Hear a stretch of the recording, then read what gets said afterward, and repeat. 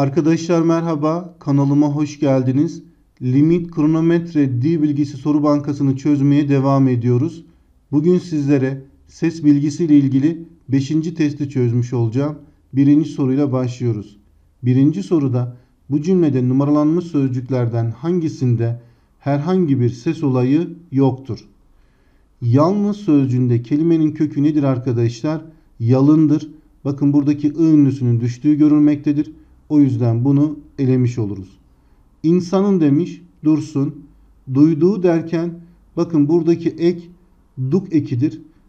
Sıfat fiil ekidir. K sesinin yumuşayarak yumuşak G'ye dönüştüğünü görüyoruz. Burada da ünsüz yumuşaması vardır. O yüzden bunu da elemiş oluruz. İhtiyacını kelimesinde kelimenin kökü ihtiyaçtır. Ç sesidir. Ç'nin yumuşayarak C'ye dönüştüğünü görüyoruz. Burada da ünsüz yumuşaması var. Bunu da oluruz.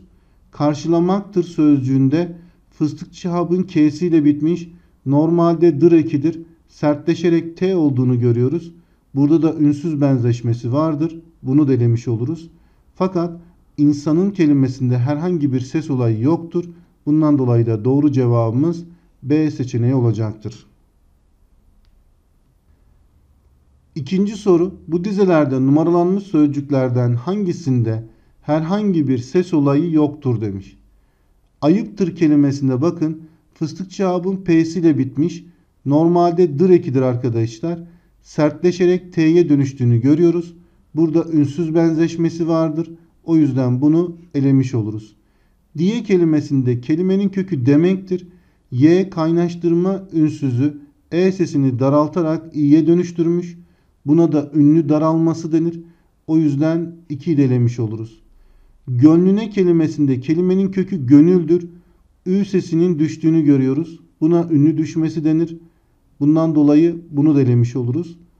Dokudum kelimesi dursun. Anlıyor kelimesine bakacak olursak kelime anlamaktır. Yoreki kendisinden önce gelen A sesini daraltarak I'ya dönüştürmüş. Buna ünlü daralması denir. O yüzden bunu delemiş oluruz. Dokudum kelimesinde herhangi bir ses olayı olmadığı için doğru cevabımız da D seçeneği olacaktır. Üçüncü soru bu dörtlükte numaralanmış sözcüklerden hangisinde herhangi bir ses olayı yoktur? Kuvvetli kelimesi dursun. Gönlüm kelimesinde kelimenin kökü gönüldür. Bakın ünlüsünün düştüğü görülmektedir. Buna ünlü düşmesi denir. O yüzden bunu elemiş oluruz. Hakkındır kelimesinde kelimenin kökü nedir? Haktır. Burada görmüş olduğunuz gibi ikinci K'nin türediği görülmektedir. Buna ünsüz türemesi denir. O yüzden bunu da elemiş oluruz. Aklına kelimesinde kelimenin kökü nedir arkadaşlar? Akıldır. Bakın ı ünlüsünün düştüğü görülmektedir. Buna ünlü düşmesi denir. Bunu da elemiş oluruz. Esti kelimesinde fıstık şabın s'siyle bitmiş. Normalde ek di ekidir. Görmüş olduğunuz gibi D sesinin sertleşerek T'ye dönüştüğü görülüyor. Buna da ünsüz benzeşmesi denir. O yüzden bunu da elemiş oluruz. Fakat kuvvetli kelimesinde herhangi bir ses olayı yoktur. Bundan dolayı da doğru cevabımız A seçeneği olacaktır. Dördüncü soru. Bu dizelerde numaralanmış sözcüklerin hangisinde diğerlerinden daha fazla ses olayı vardır demiş. Bakalım. Çocukluğum derken bakın K sesinin yumuşayarak yumuşak G'ye dönüştüğünü görüyoruz. Buna biz ne deriz arkadaşlar? Ünsüz yumuşaması deriz. Burada bir tane ses olayı var. Kaybettim dursun. Kaybolan derken bakın burada normalde kayıptır. I ünlüsünün düştüğü görülmektedir. Buna ünlü düşmesi denir arkadaşlar. Yine P sesinin yumuşayarak B'ye dönüştüğü görülmektedir. Buna da biz ne diyoruz? Ünsüz yumuşaması diyoruz. Bakın burada da iki tane ses olayı görülmektedir. Gençliğim derken yine K sesinin yumuşayarak yumuşak G'ye dönüştüğünü görüyoruz. Burada da arkadaşlar sadece ünsüz yumuşaması vardır. Aradığım derken de yine K sesinin yumuşayarak yumuşak G'ye dönüştüğü görülmektedir. Burada da arkadaşlar yine ünsüz yumuşaması bulunmaktadır. Bunlarda da bir tane ses olayı vardır. 2 numaraya bakalım. Kaybettim kelimesinde kelimenin kökü nedir yine? Kayıptır. Bakın ünlüsü düşmüş. Dolayısıyla burada ünlü düşmesi var. Bu birinci ses olayımız. P sesinin yumuşayarak B'ye dönüştüğünü görüyoruz. Buna da biz ne demiştik arkadaşlar? Demin ünsüz yumuşaması demiştik. İkinci ses olayı oldu. Bakın burada da D ekinin sertleşerek T'ye dönüştüğünü görüyoruz. Arkadaşlar bu da nedir? Benzeşmedir. Diğer adıyla sertleşmedir. Görmüş olduğunuz gibi 2 numaralı sözcükte 3 tane ses olayı var. Bundan dolayı da doğru cevabımız B seçeneği olacaktır. Beşinci soru. Bu dizelerde numaralanmış sözcüklerle ilgili olarak aşağıda verilen bilgilerden hangisi yanlıştır? Birinci sözcükte ünsüz benzeşmesi vardır. Bakın yazıktır derken fıstık şabın K'siyle bitmiş. Normalde drekidir. Sertleşerek T'ye dönüşmüş. Buna biz benzeşme diyoruz. Bundan dolayı A seçeneği doğrudur. Bunu elemiş oluruz. İkinci sözcükte ünlü aşınması vardır. Dursun. Üçüncü sözcükte ünlü düşmesi vardır. Bakalım kelimenin kökü nedir arkadaşlar? Boyundur. U ünlüsünün düştüğü görülmektedir. Buna ünlü düşmesi denir. Dolayısıyla C seçeneği de doğrudur. Bunu da elemiş oluruz. Dördüncü sözcükte ünlü daralması vardır. Bakın buradaki geçmeyordur. Yoreki kendisinden önce gelen E sesini daraltarak i'ye dönüştürmüş. Bu da doğrudur. Bunu da elemiş oluruz. Beşinci sözcükte ünsüz yumuşaması vardır. Kelimenin kökü derttir arkadaşlar. T sesinin yumuşayarak D'ye dönüştüğü görülmektedir. Bu da doğrudur. Bunu da elemiş oluruz. Fakat iki numaralı sözcükte ünlü aşınması arkadaşlar yoktur. Sana kelimesinde dikkat edecek olursanız kelimenin kökü sendir. E ünlüsü ünlü değişimine uğrayarak A'ya dönüşmüş. Buna biz ne diyoruz arkadaşlar? Ünlü değişimi diyoruz. Dolayısıyla ünlü aşınması yani hece düşmesi yok. Bundan dolayı da doğru cevabımız B seçeneği olacaktır. Altıncı soru. Aşağıdaki sözcüklerden hangisi Türkçe bir sözcüktür demiş. Arkadaşlar bakın millet sözcüğü Arapça bir sözcüktür. Strateji sözcüğü bu da Fransızca bir sözcüktür. Spor kelimesine bakacak olursa spor da arkadaşlar İngilizce bir sözcüktür. İnkılap kelimesine bakacak olursa bu da yine nedir? Arapça bir sözcüktür. Sevgi kelimesi Türkçedir. Bundan dolayı da doğru cevabımız B seçeneği olacaktır. Yedinci soru. Aşağıdaki sözcüklerden hangisi Türkçe bir sözcüktür demiş. Bakalım kitap kelimesine bakacak olursak bu yine Arapça bir sözcüktür. Hikaye kelimesi arkadaşlar bu da Arapça bir sözcüktür. Saat kelimesi yine Arapça bir sözcüktür. Balon kelimesine bakacak olursak bu da İngilizce bir sözcüktür. Büyük kelimesi arkadaşlar Türkçedir. Bundan dolayı da doğru cevabımız E seçeneği olacaktır. 8. soru aşağıdaki dizelerin hangisinde altı çizili sözcükte birden çok ses olayı yoktur?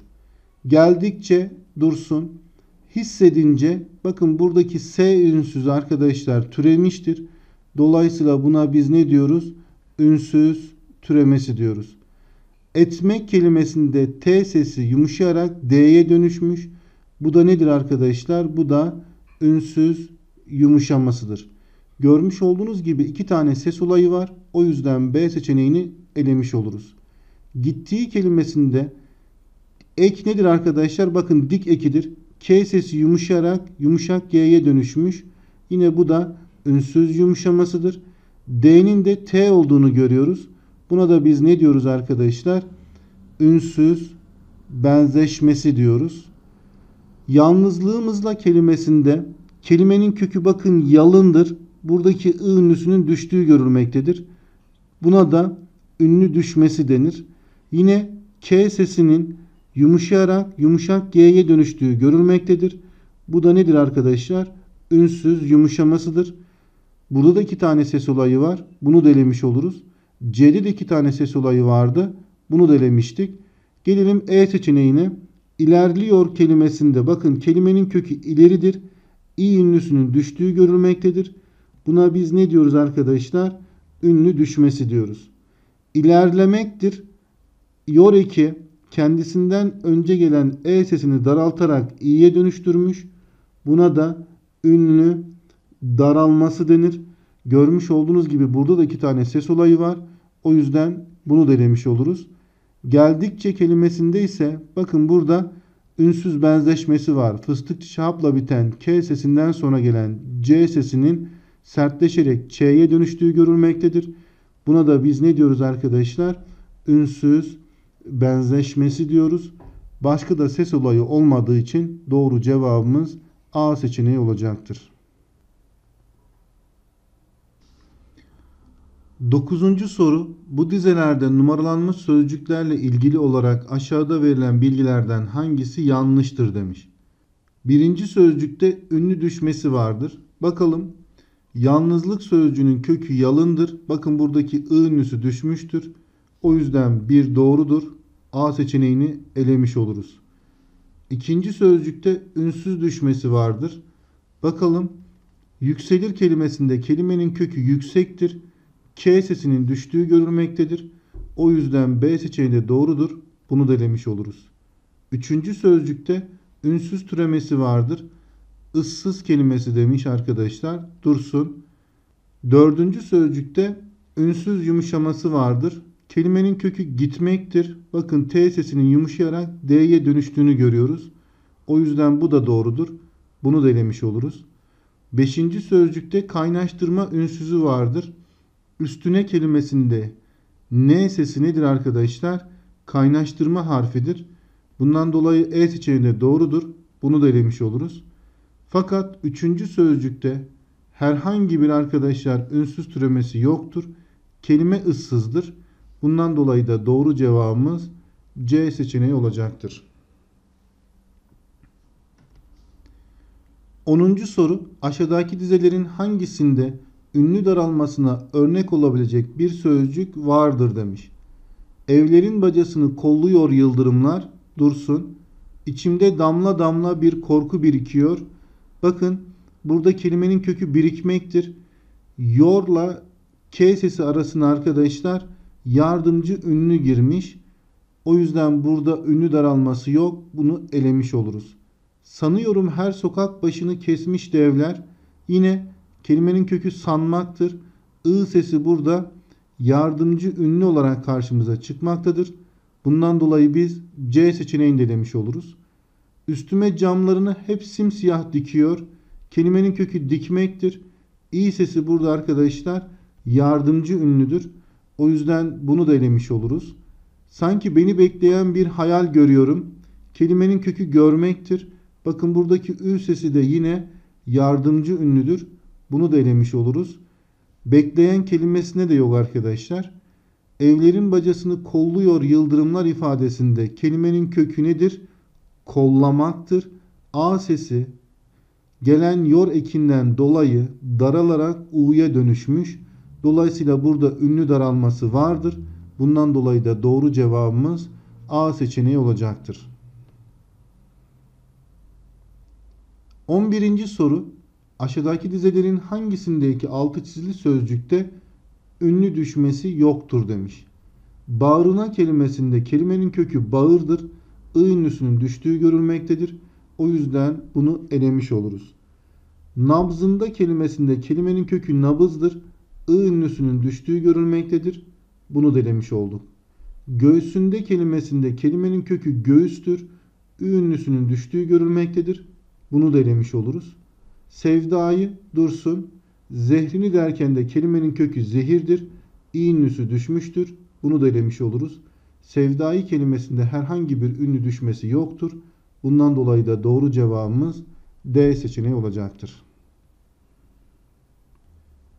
12. soru bu dizelerde numaralanmış sözcüklerle ilgili olarak aşağıda verilen bilgilerden hangisi yanlıştır? Birinci sözcükte ünsüz benzeşmesi vardır. Çocuktum derken bakın dum ekidir bu. D sesinin sertleşerek T'ye dönüştüğü görülmektedir. Dolayısıyla burada ünsüz benzeşmesi vardır. Bundan dolayı A seçeneğini elemiş oluruz. İkinci sözcükte hem ünsüz düşmesi hem ünsüz benzeşmesi vardır. Bakalım kelimenin kökü ufaktır. K sesi düşmüştür. Acıktım derken de yine burada D ekinin sertleşerek T'ye dönüştüğü görülmektedir. Buna da ünsüz benzeşmesi denir. Dolayısıyla B seçeneği de doğrudur. Bunu da elemiş oluruz. Üçüncü sözcükte türeme sırasında ünlü düşmesi olmuştur. Kelimenin kökü nedir arkadaşlar? Oyundur. Oyundan oynamak olmuş. İsimden fiil yapım eki almış. Dolayısıyla türerken de U sesinin düştüğü görülmektedir. Bu da doğrudur. Bunu da elemiş oluruz. Dördüncü sözcükte hem ünsüz yumuşaması hem ünsüz benzeşmesi vardır. Acıktım kelimesinde kelimenin kökü açtır. Bakın Ç sesi yumuşayarak C'ye dönüşmüş. Aynı zamanda burada da D ekinin sertleşerek T'ye dönüştüğü görülüyor. Bakın hem yumuşama var.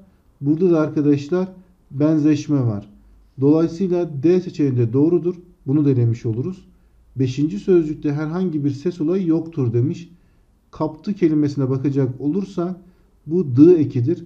Sertleşerek T'ye dönüştüğünü görüyoruz. Fıstık çapın P'si ile bittiği için. Dolayısıyla burada ne vardır? Ünsüz benzeşmesi vardır. Bundan dolayı da doğru cevabımız E seçeneği olacaktır. 13. soru. Bu parçadaki altı çizili sözcüklerden kaç tanesinde ünlü daralması vardır? Deneyimliyor kelimesinde deneyimlemektir. Bakın yor eki kendisinden önce gelen e'yi daraltarak i'ye dönüştürmüş. Dolayısıyla bunu alabiliriz. Saptıyor kelimesinde kelime saptamaktır. Yor eki kendisinden önce gelen a sesini daraltarak i'ye dönüştürmüş. Burada da ünlü daralması vardır. Bunu da alabiliriz. Sayıyor kelimesinde buradaki ı yardımcı ünlüdür. Bunu elemiş oluruz. Öğreniyor kelimesinde yine i sesinin yardımcı ünlü olduğunu görüyoruz. Bunu da elemiş oluruz. Hatırlıyor kelimesinde kelime hatırlamaktır. Yor eki kendisinden önce gelen a sesini daraltarak i'ye dönüştürmüştür. Burada da ünlü daralması vardır. Bunu da alabiliriz. Yapabiliyorlar kelimesinde ise yine buradaki i sesinin yardımcı ünlü olduğu görülmektedir. O yüzden bunu da elemiş oluruz. Görmüş olduğunuz gibi 3 sözcükte daralma var. Bundan dolayı da doğru cevabımız B seçeneği olacaktır. Evet arkadaşlar bir videomuzun daha sonuna geldik. Kanalıma abone olduktan sonra bildirimleri açmayı ve kanalımı arkadaşlarınıza önermeyi lütfen unutmayın. Bir sonraki videoda buluşmak dileğiyle hepiniz hoşçakalın.